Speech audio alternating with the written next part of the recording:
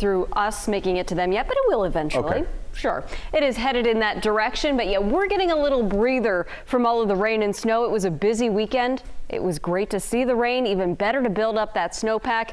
Just tallied up some of the season totals going back to October 1st for downtown Sacramento. The average to this date is just shy of four inches, including yesterday's rain. Our accumulated rainfall 5.83 inches. Love seeing the season get off to a fast start like that. Fingers crossed it'll continue. But again, today we're not expecting much in the way of new accumulation, maybe a few flurries in the Sierra. We've seen a couple of sprinkles around Stockton, but you can see here visibility is still doing pretty good. It's 46 degrees in downtown Stockton, a light breeze coming out of the north northeast at about 9 miles per hour. Here's the radar, barely picking up on a couple of sprinkles just to the east of Stockton, moving towards the Modesto area now.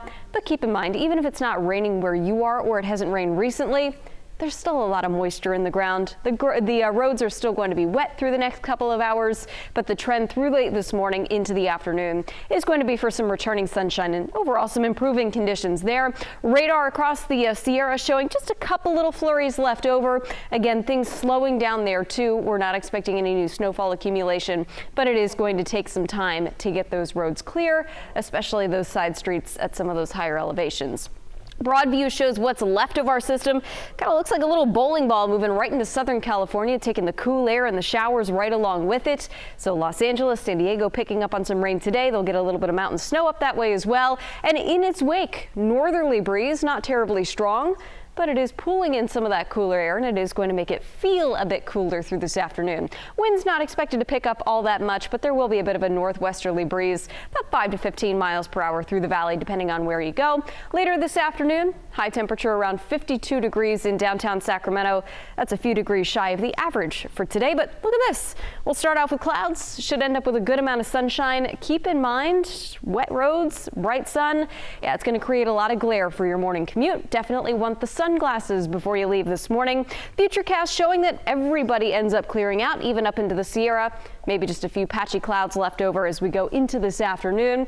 Later this evening, again, still staying clear. And you know what happens with recent rain, clear skies, and cooling temperatures?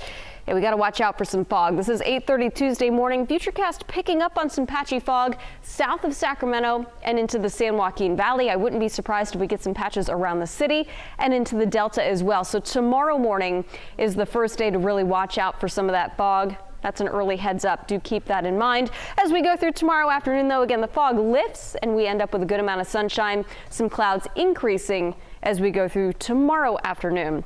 But again, today it's bright sunshine, high temperatures, 50s in the valley, 40s up into the foothills. But look at tomorrow morning.